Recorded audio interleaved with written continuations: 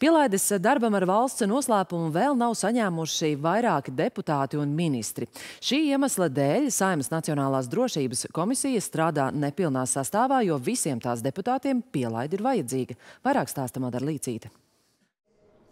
Saimas Nacionālās drošības komisijā strādā pa vienam deputātam no katras frakcijas. Līdz šim komisijas darbā varēja piedalīties tikai četri no septiņiem deputātiem. Līdz ar pielaides saņemšanu komisijas darbā tagad var iesaistīties arī Vilis Krištopans, bet divi deputāti joprojām ir bez pielaides. Tā ir arī kaut kādā ziņā katras partijas atbildība, kuras pārstāvs viņi nolem virzīt konkrētajā komisijā, kur ir nepieciešams iegūt šo pielaidi. Ir prieks, ka ir vairākas frakcijas izvirzījuši pārstāvis, kuriem nav problēmas ar pielaides iegūšanu, un tur tas darbs arī notiek.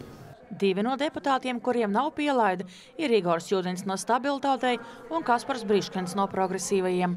Process notiek, esmu pieteicies um, saskaņā ar manā rīcībā esošo informāciju. Lēmumam vajadzētu būt tuvākajā laikā.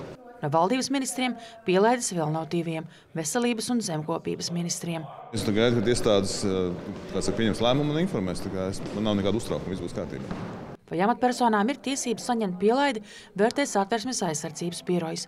Birojā Latvijas televīzijai rakstiski atbildēja, ka speciāla atļauja izsniegšana ir procesā un turpinās.